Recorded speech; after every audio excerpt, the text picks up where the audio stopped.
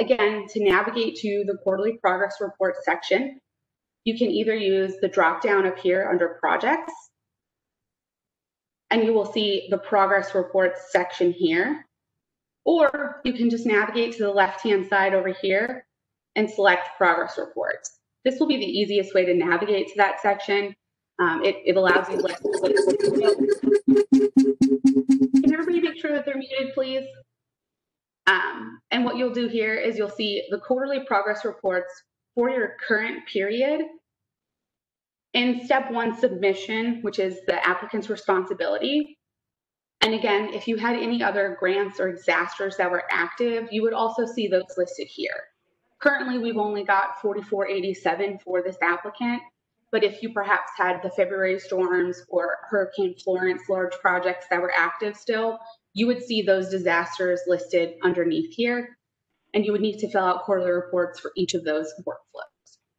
Right now, again, we're only in 4487 for this that quarterly progress report period of July through September. So we're going to click on this and navigate to our quarterly progress report. As we look at the summary page, what this does is just provides brief information as to what's going on within that quarterly reporting period for that disaster. So right now we're in the quarterly report period for July through September 2020, which FEMA view, views as the, the fourth quarter. We've got two projects that are active We've got zero, one that's listed as 100% complete and zero that are fully closed out. This is in step one submission, which is the responsibility of the applicant to submit.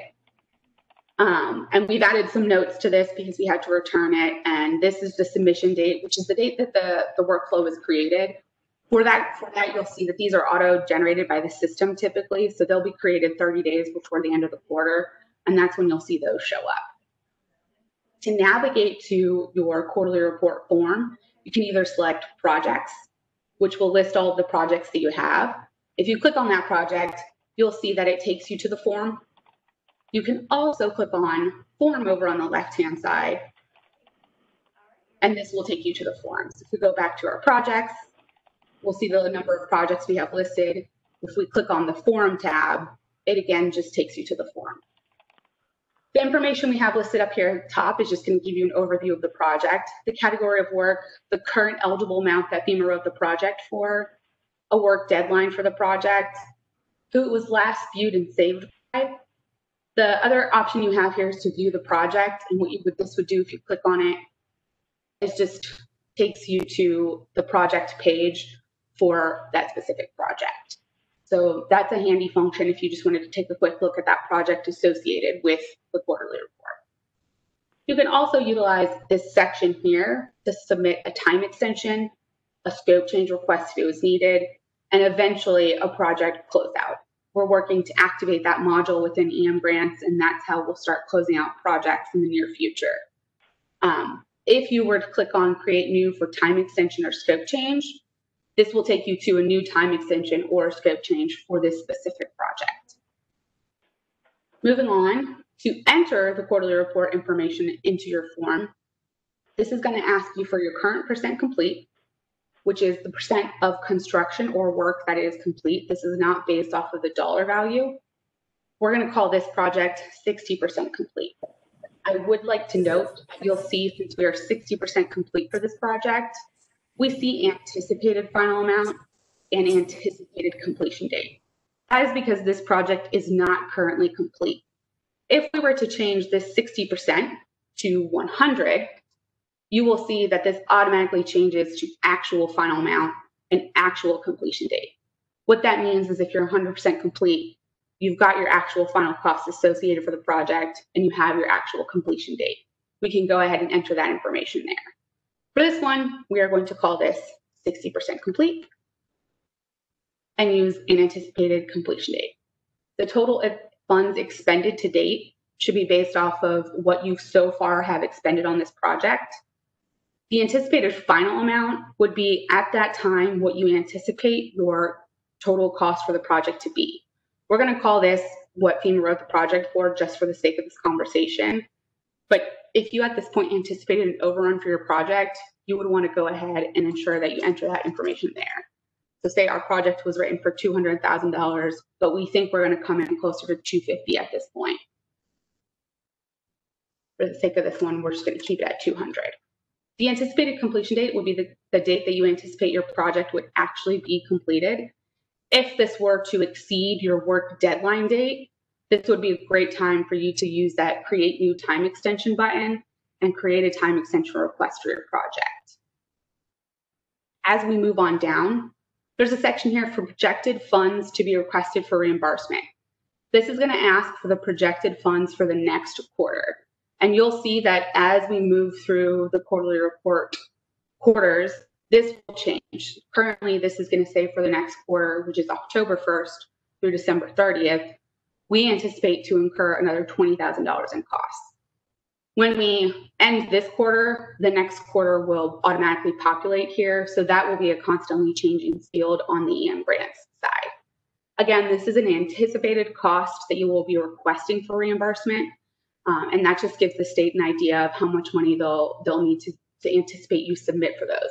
It'll also help us make sure that we are sending out reminders if we're not seeing anything come through, that we're keeping in close touch with the subrecipients to make sure that we're getting those reimbursement requests submitted so that we can turn funds around quickly to you as well.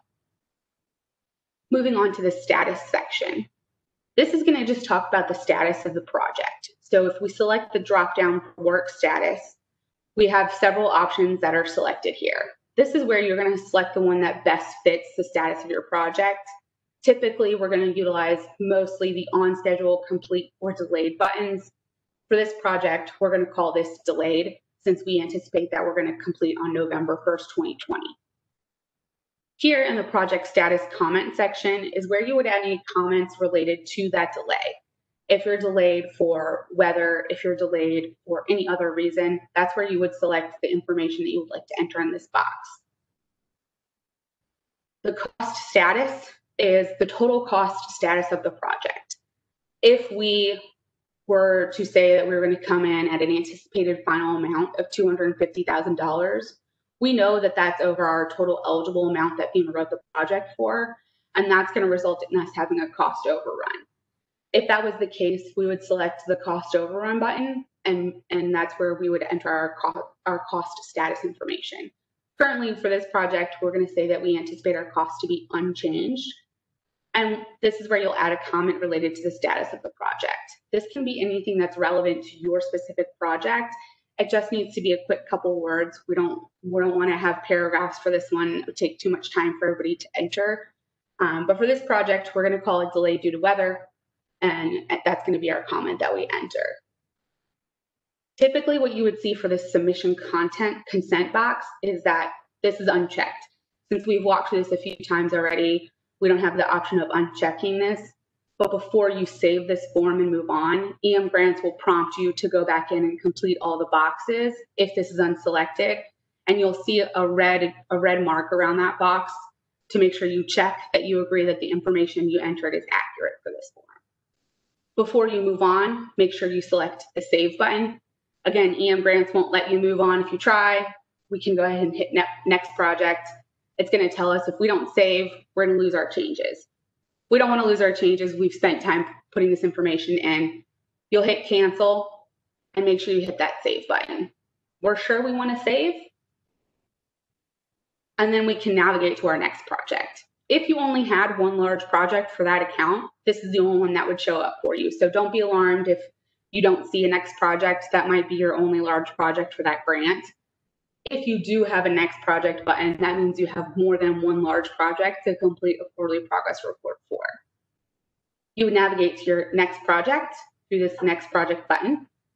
And again, proceed through the quarterly progress report information for the rest of the form. You would click your submission consent box, make sure that we are saving so that we ensure that none of our changes are lost. And if you had any additional projects for that specific grant, you would again select the next project button. Once you've ensured that all of your information is entered on here, you will click the submit button. And this is where a, note is optional. You do not have to leave one, but if there's any other pertinent information you want to trans, you want to communicate to your grants manager, this is where you'll go ahead and leave that note. And then you click the submit button. We're going to go ahead and close this out. And then you'll see that there's no other action bar for you at the top. You've submitted your quarterly reports to the next step and you are done with this account for this quarterly reporting period. If you want to take a look through the workflow, you can do that as well. That'll give you the option to do so. Submission is your step. Step two, approval, is going to be your grants manager, and that's where you'll see their name listed here. Once they've completed their review, the quarterly report will navigate to complete, and there will be no other action that needs to be taken. If you wanted to go back through and look at anything you submitted, you can do that by navigating back to your projects on the left-hand side or navigating through your form on the left-hand side as well. If after you've entered your quarterly report, you're afraid that you might have entered something incorrectly, all you would need to do is email your grants manager and request that they return this workflow to you and they can get that edited. To navigate back to your home page, you can either select on your specific account, which you can navigate to up here, or you can navigate to the home page by clicking the home button. This will take you back to the page where you can select your progress reports on the left-hand side. And we can see that those have moved on to step two, approval. So again, this is the grants manager is going to review what you've entered, make sure that all the fields have been filled out, and they will move this along through the system. You'll continue doing this through all of your quarterly report periods that you have open for all of the grants that you have if you were in more than one grant with a large project that is obligated. So I know for a lot of our COVID projects, those are still working through the system and they're not obligated. This is only going to be for obligated large projects. Category Z projects do require a quarterly report project submission. They are considered to be large projects by FEMA, even if it is a small amount. Quarterly, category Z projects are reimbursed on actual costs so we will be requiring quarterly report project submission for those. Could I knock out a couple of questions or did you want to go through anything further? No, absolutely. Please, questions. And I'm going to go ahead and stop. We're at 12 minutes and 30 seconds. If anybody needs to drop off, we understand. We're going to try to get through some questions, so feel free to hang in there. Um, I'm not doing anything else.